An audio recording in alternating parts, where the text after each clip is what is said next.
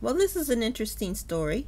Brittney Griner and her partner, Cherelle Griner, um, so I guess they're officially married, are expecting their first baby. Yay! We all remember Brittney Griner.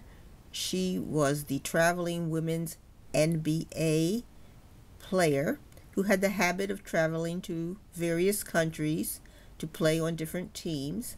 And so she went into Russia, where she had played before, and she knew the rules. And she came in, and they found um, cannabis, I believe it was cannabis oil, in her suitcase. They, she was arrested. She was held more or less as a pawn, and uh, it took quite a while for us to get her out.